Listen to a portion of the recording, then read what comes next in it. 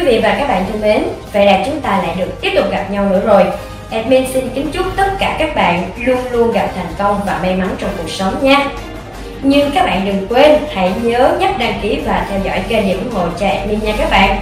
Và ngay sau đây, xin mời các bạn đến với bản tin mới nhất trong ngày. Phi Nhung viếng nhạc sĩ Vũ Đức sau biển và chia sẻ kỷ niệm không quên về ông. Thể hiện thành công khá nhiều nhạc phẩm để đời của cố nhạc sĩ Vũ Đức sau biển. Cả nghệ sĩ Thanh Ngân và Phi Nhung đều có nhiều kỷ niệm ấn tượng về người nhạc sĩ tài hoa. Đến viếng nhạc sĩ Vũ Đức sau biển tại nhà riêng của ông, ca sĩ Phi Nhung chia sẻ, có lần cô tham gia một chuyến từ thiện ở miền Tây sau cơn bão lịch sử Linda, trở về mới kể với nhạc sĩ về những tang thương mất mát của người dân nơi đây.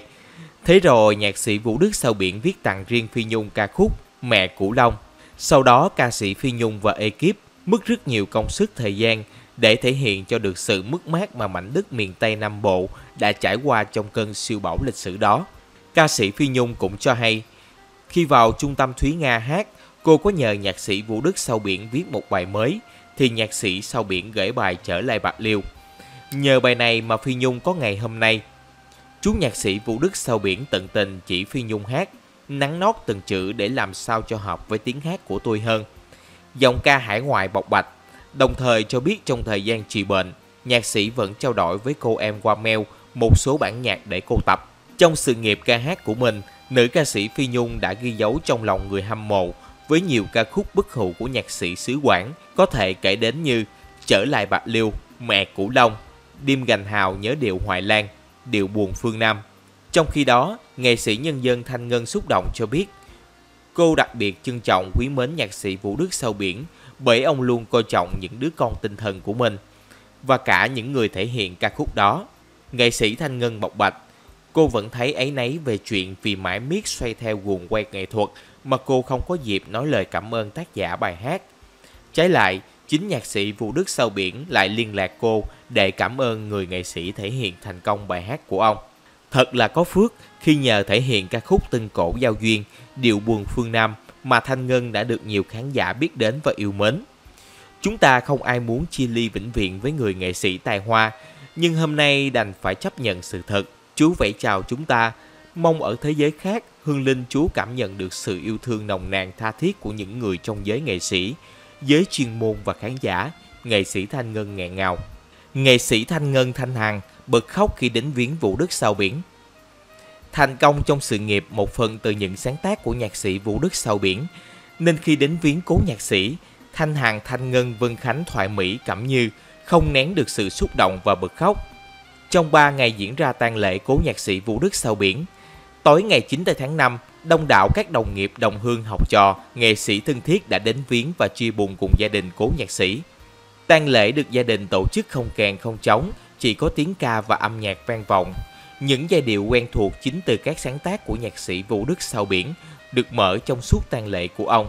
Đến viếng tác giả đêm gành hào nghe điệu Hoài Lan, có rất nhiều nghệ sĩ đã thành danh, được khán giả yêu mến từ chính những sáng tác của nhạc sĩ Vũ Đức Sao Biển. Nói về sự ra đi của nhạc sĩ Vũ Đức Sao Biển, nghệ sĩ Thanh Ngân bật khóc chia sẻ. Dù biết đây là lẽ thường của nhân sinh, nhưng chị vẫn cảm thấy đau lòng chỉ mong ước sau những nhạc sĩ tài hoa như Vũ Đức Sau Biển được thọ mạng dài hơn, để sáng tác thêm các ca khúc đi vào lòng người dân Nam Bộ.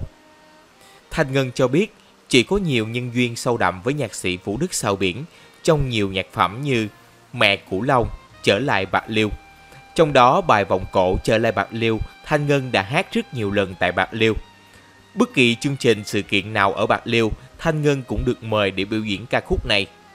Thanh Ngân khẳng định, con đường nghệ thuật hơn nữa cuộc đời làm nghệ thuật của chị đã gắn bó với những ca khúc của nhạc sĩ Vũ Đức Sao Biển. Vì vậy, sự ra đi của nhạc sĩ Vũ Đức Sao Biển là sự mất mát to lớn của cá nhân Thanh Ngân và những ai yêu mến cố nhạc sĩ. Nghệ sĩ nhân dân Kim Xuân có cơ duyên gặp gỡ nhạc sĩ Vũ Đức Sao Biển khi làm giám khảo một chương trình của trường Đại học Khoa học Xã hội và Nhân văn thành phố Hồ Chí Minh. Chia sẻ về âm nhạc của cố nhạc sĩ, nghệ sĩ nhân dân Kim Xuân bày tỏ, những bài hát của anh không quá nhiều nhưng xoáy sâu vào tâm hồn người nghe. Điều thú vị nhất trong âm nhạc của nhạc sĩ Vũ Đức Sao Biển, khi anh là người miền Trung nhưng lại sáng tác nhạc rất sâu lắng về Nam Bộ. Tôi rất thích những ca khúc như Đêm gành hào nghe điệu Hoài Lan, Điệu buồn phương Nam. Anh ra đi chúng tôi mất một người tử tế trong âm nhạc, một người thầy nghiêm túc. Ca sĩ Vân Khánh có cơ duyên làm việc với nhạc sĩ Vũ Đức Sao Biển từ năm 2003 khi chị hợp tác với cố nhạc sĩ trong album Hoài niệm thương Trường Giang. Viết về quê hương Quảng Nam của ông. Chú chỉ bảo tôi rất nhiều để hát đúng chất Quảng Nam. Mặc dù bình thường chú hết sức thoải mái hay giỡn với mọi người, nhưng trong công việc chú lại rất nghiêm khắc. Ca sĩ Thùy Trang hát nhạc của Vũ Đức Sâu Biển từ năm 19 tuổi, chị cũng thành danh với nhạc phẩm của cố nhạc sĩ. Thùy Trang bày tỏ sự tiếc thương trước sự ra đi của nhạc sĩ tài hoa, nhưng sống rất tình cảm và ấm áp